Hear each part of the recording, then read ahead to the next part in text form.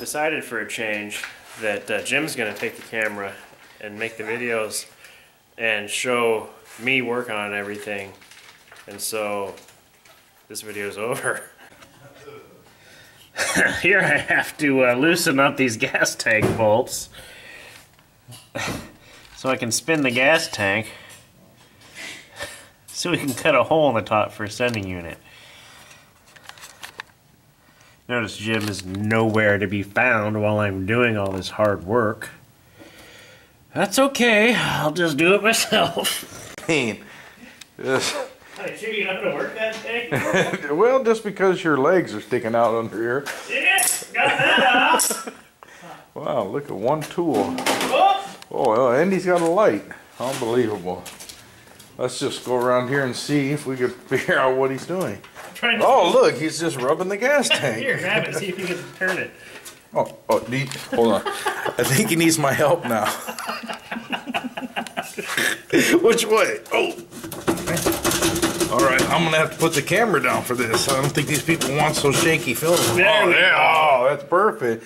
Man, job well done, Don.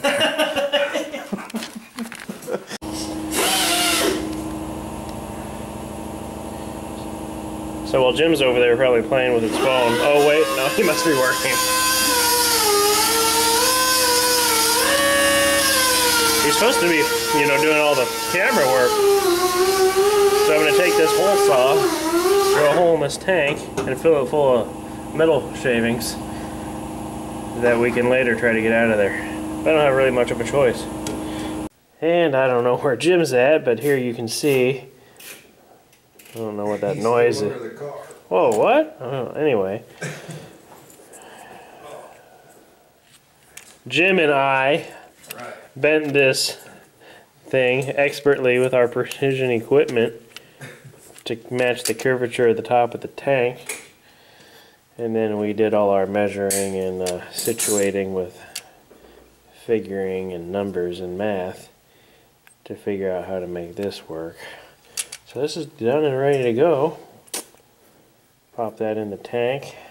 All we have to do is figure out how to clean out the tank because now it's full of metal shavings. So once we get that figured out, it'll be pretty sweet. What? Yep.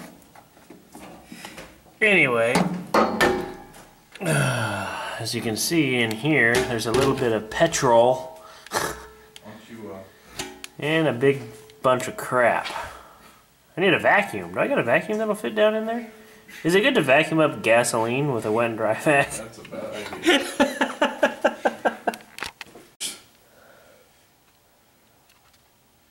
Tapper. Oh, as you can see, folks. Well, I I'm mean, back the guy I'm wasn't taking any field. video. Back on the. I mean, I'm over here slaving away, putting screws in my door hinges. I got three. Oh, there's, Three screws. I got two. man. This is unbelievable. Three. And then I had to take them out and take these washers off because you told me you didn't like those big washers. I don't know. Are these supposed to have those? Because they don't really fit very well, and the screws fit a lot better without those washers. So that's perfect. The alternator I put on. I put the belt on and tightened her up, though. Doesn't that count for something? Yeah, you did. You sure did. Did a fine job too. I really did. I wish you guys could have seen the tools. Oh, I used the right tool for the job. Now I gotta come in here and get some screws for you. Where are those? I thought they were in here still. You need more than that. What do you, what? I need more than what? I've had enough of this. Here they are.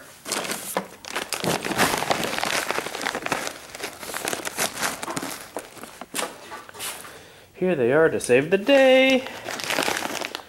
I got five screws coming your way. I think you need some ultra gray. No, it's probably fine. I mean, the way we got that perfectly formed and shaped, you can tell. I mean, that couldn't really be any better. Here, I better take a little feel. It's not too bad, really, is it? Mm-hmm. I mean, I guess. I wish we had that little mirror so we could make sure that it's, you know, perfect.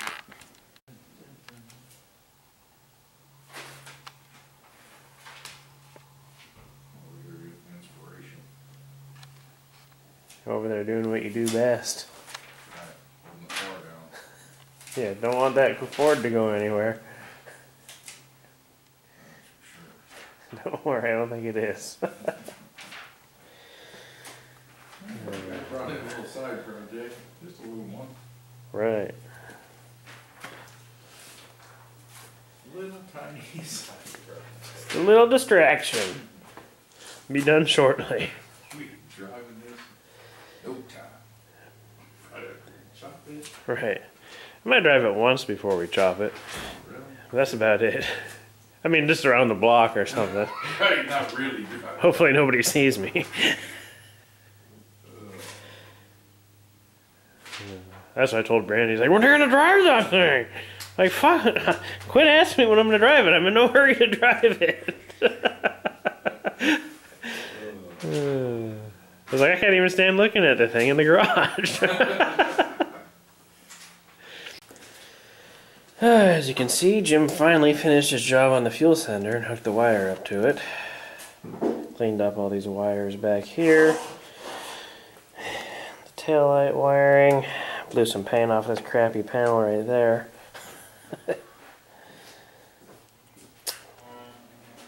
Still need to put some different clamps on that. Need to get a different frame. Um, I need a passenger window. I have the regulator and all new felts and stuff. No window in this door. Yeah, I screwed this back on and this back on anyway, just to kind of put it back together.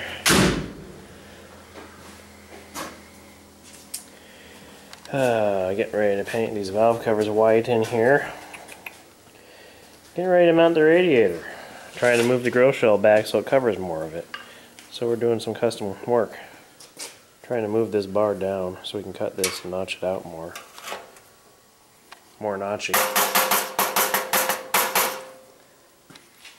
So it should be a good time. For everybody involved.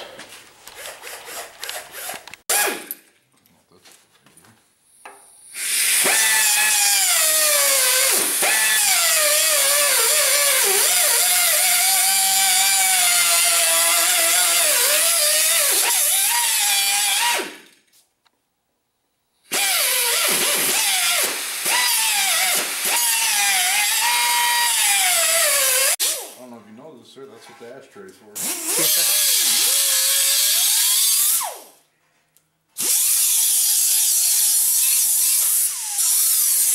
This is a nice grill As you can see, it's no loss if this doesn't work. because this thing is a piece of something. Something sweet.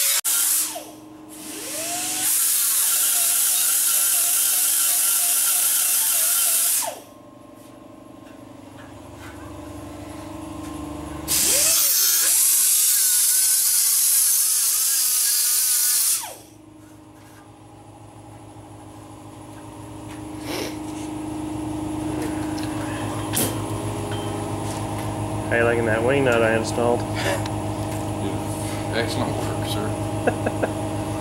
Here you can see how Jim, aka the Metal Whisperer, re- reformed these brackets and made them uh, fit to hold the grill shell on so we don't have to build some crazy contraption welded to the frame like it had before just to hold the grill. So this uh, worked out pretty good. Forgot to get some video of it on the car so you could see how it looked, but it's uh, more tucked in than it was. Once I paint it black, I'll never go back.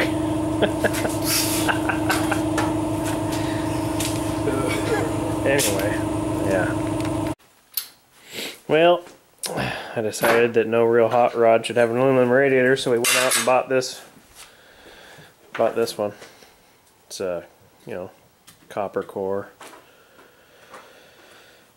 And uh, stuff like that. So once that's dry, we just washed it, so I'm just waiting for it to dry. Then we can put it back together for one more time. I mean, for the first time with this radiator, but. then we can take it all back apart when I get a new leaf spring. We could probably get that out of there with the radiator. You have to take the grill shell off. But I think we could get it uh, those bolts out of there. Yeah.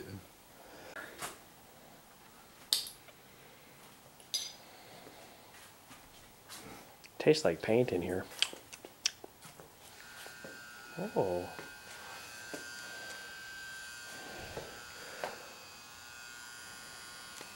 Hmm.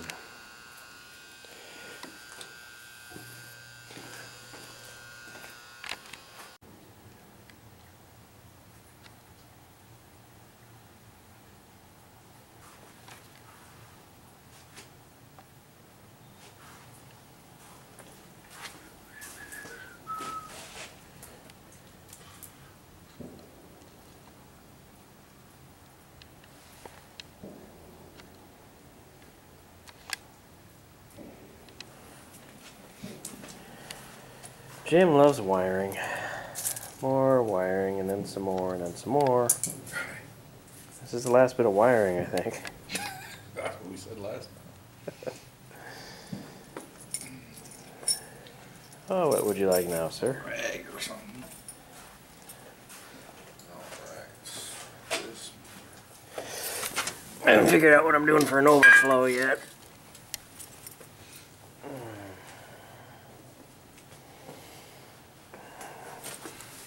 Guess I could just run a hose to the ground. Or do something with this stupid thing. Oh boy, Jim's got some good stuff going on over there. But wipe the wire off. And it came disconnected. that's pr- that's pretty much how every wire on this car is. You touch it, falls apart.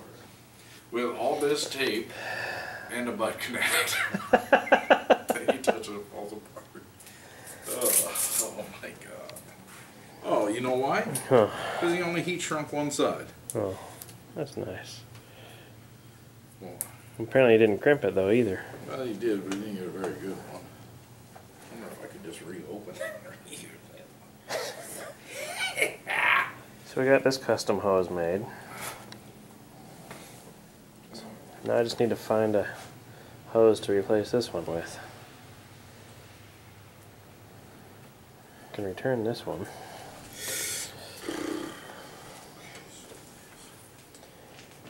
And I need to find whatever piece it is that goes right here.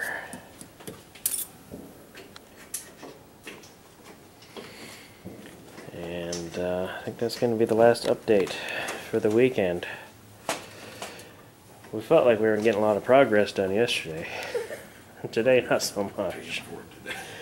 We drove around to five stores to find some ties for the radiator or for the fan because we put the fan in the wrong spot the first time and had to cut the ones I had off because the fan was hitting it was too low and was hitting the spring bolts.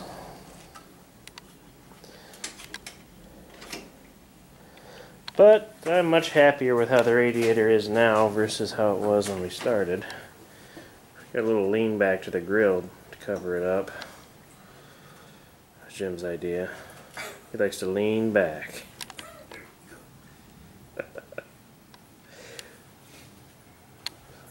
I don't know what angle it's going to be at when the car's on the ground because I'm not exactly sure how the car is sitting right now.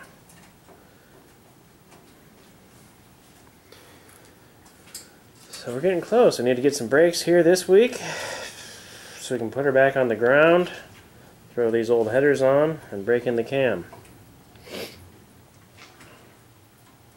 Except for that big hole in the rear end we have to plug still. Should show get a little footage of that situation. So someone put a uh, one of these right here for the rear brake line and then they proceeded to drill a hole in the housing because they were going to bolt it on I guess but they never did so there's just a big hole there and that's pretty nice who knows what's in the rear end. Probably water. Or nothing. Other than that, things are really looking up around here. Found the seed I'm gonna get. As soon as I have an extra million dollars, I'll order that up. Whoa, crazy zoomed in. Jeez, I thought that was all for the updates, but I was wrong. I can't reach that. One final update here.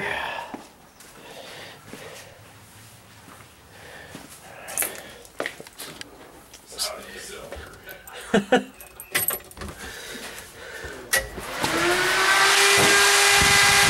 that's that's nice.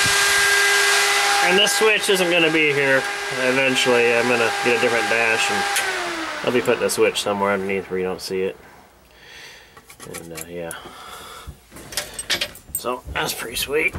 As you can see, there's not a single wire on the car. Except for these two. Oh man, I stepped on the butt connectors. Got a turn signal wire here and here. Lights aren't here yet. Apparently they came from Zimbabwe, so it's taking a while.